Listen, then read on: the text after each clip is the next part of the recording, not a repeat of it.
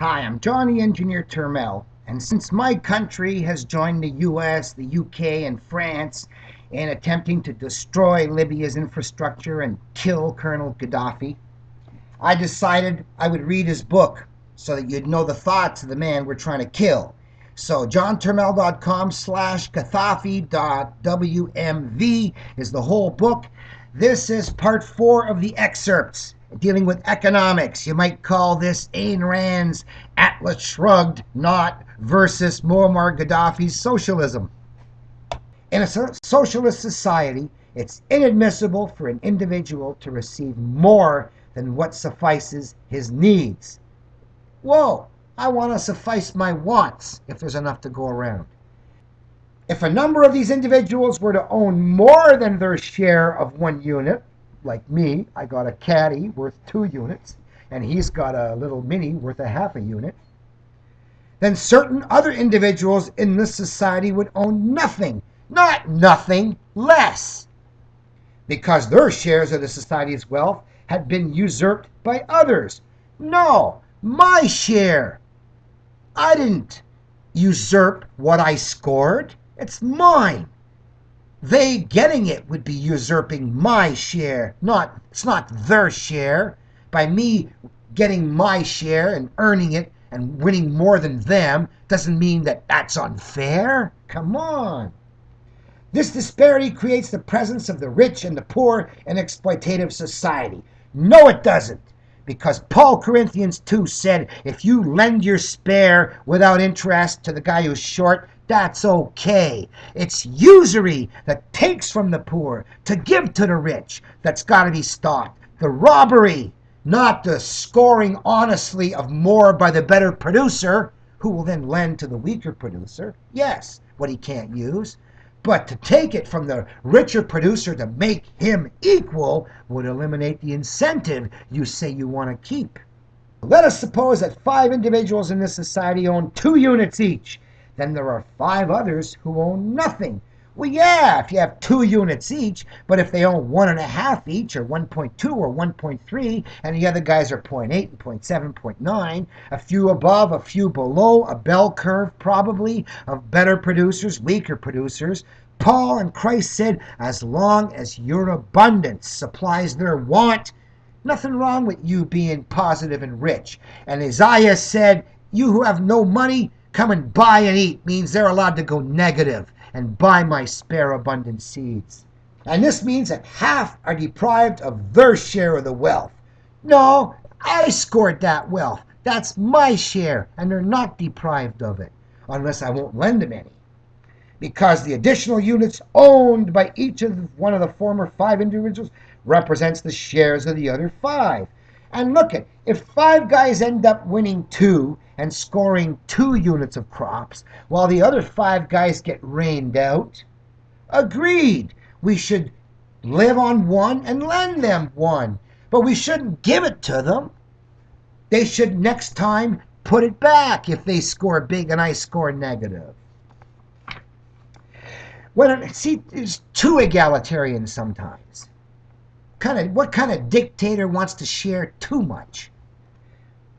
When an individual in this society requires only one unit of society's wealth to fulfill his needs, then the individual who owns more than one of this wealth is actually the usurper of the right of the other individuals in society. I might own it, but it doesn't mean I didn't lend it to him and he got to use it and survive so that later because I had a bad crop and he had a good one and he paid me back, he can have the satisfaction of knowing he didn't take charity. He took an interest free loan and paid it back. By having a share in excess of his need, this individual is usurping this excess to hoard more than his share at the expense of others' needs. Hey, the only time I got more seeds than I can consume is when they don't need to borrow them. And I don't mind having more than the next guy when he doesn't need to borrow from me. You don't seem to anticipate a world of abundance. What are you going to do when you don't have people who are hungry and starving and everybody's doing okay? You're still going to want to take away from the higher achievers to equalize it out? Of course not. This explains the existence of those who hoard and those who spend. those who save in excess of what they require to fulfill their needs, and also the existence of those who are deprived, those who are demanding their right in society's wealth and have nothing to live by. Well, that's only because the extra seeds aren't loaned out, they're loan sharked out. So don't throw out the baby with the bathwater. There's nothing wrong with excellence and abundance in the hands of the winners as long as it's not hurting the losers. It is overt theft and plunder. No, it's not. If I score more than the next guy and he doesn't need it, I got a right to have more than the next guy. What is left over after fulfilling the needs of all individuals becomes the rightful property of all members of society. Oh, all right. I'm saying that you, there's no need to take all the spare seeds and divide it out equally. You can actually let the high scorers keep their high scores and run an honest game as long as the losers don't have too little. And of course, he wants everybody who produces more than they need to stick it in the central storage house and he divvies it up equally. And I want everybody who produces in excess of their needs to put it in the central storage house and get credit for it. While the guys who got to borrow go negative, with no penalty for going negative, and the attempt to put it back. Now that would generate excellence. Even the industrious and skillful have no right to usurp the share of others as a result of this advantage. Hey, if I'm industrious and the other guy isn't, I got a right to the extra share and have more by that advantage. I just don't have a right to have too much. They can use these talents to satisfy their own needs and save from those needs. This does not mean that the aged and the mentally or physically disabled are not entitled to the same share of society's wealth as other sound individuals. Well, yeah, we agree that they have a right but it says, You who are hungry and have no money, come by and eat. You who have no clothes, come by and eat. Well, you who are old and need it, come by and eat. Which means that you use your credit, you go negative, and you owe. And if you die in negative, c'est la vie. We divvy it over the database, not to worry. The wealth of a society may be likened to a provisions establishment or warehouse which supplies a number of people on a daily basis with a specific quantity of provisions to meet their daily needs. And I'm saying the guys who score more ought to be able to eat more. Unless it's people are starving next to them, then they should cut back a bit. But as long as the guy who scored little doesn't have too little, I ought to be able to pig out. So the egalitarianism that Muammar's offering socialism is just a little bit too egalitarian when you don't have to be. You just got to make sure that the guys with most don't have too much and the guys who got less don't have too little. And that's fair. But he who takes advantage of such talent to obtain for himself more than his share is undoubtedly a thief. Bull!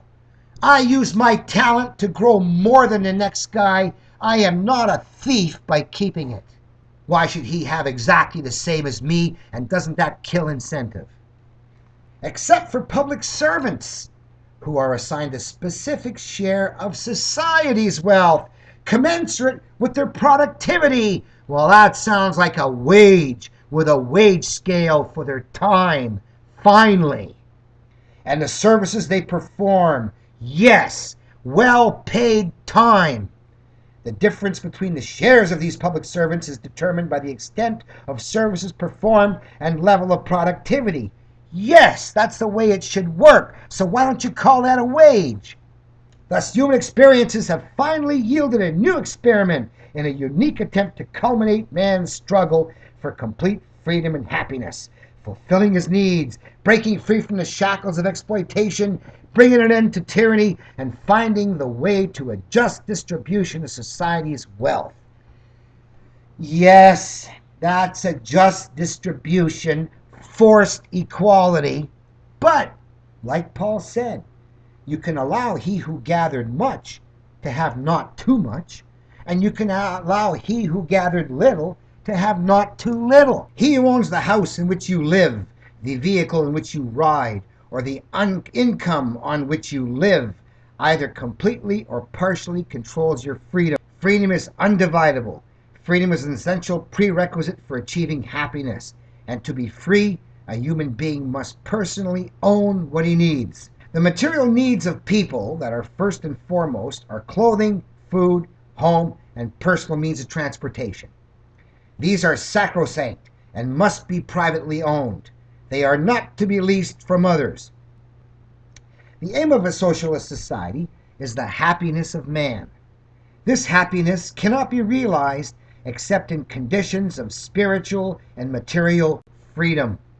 However, the realization of freedom depends upon the extent to which man personally owns his essential needs and the extent to which such ownership is safeguarded.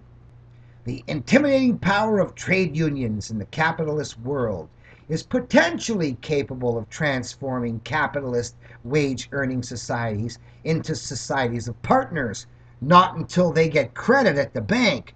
Otherwise, it's only the owner who's got credit at the bank who can get the currency to fund the operation.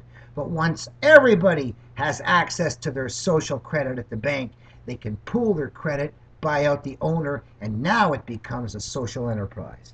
The final step in the process will be accomplished when the new socialist society reaches the stage whereby money and profit disappear.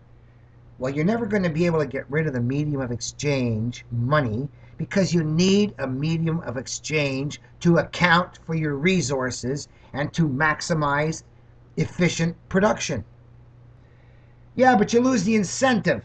Profit automatically disappears at this final stage, and the need for money as a medium of exchange no longer exists. But the need for money as a medium of exchange to organize your labor does exist. The recognition of profit is an admission of exploitation not necessarily. Not if everybody gets to go out there and do their best to try and profit and score their most, then it becomes a measure of excellence. Since the mere fact of recognition implies that the pursuit of profit knows no limits. Well, we're not saying Bill Gates, Rothschild type of pig people profits. We're just talking about maximizing your human potential. Domestic servants. Ah, wages.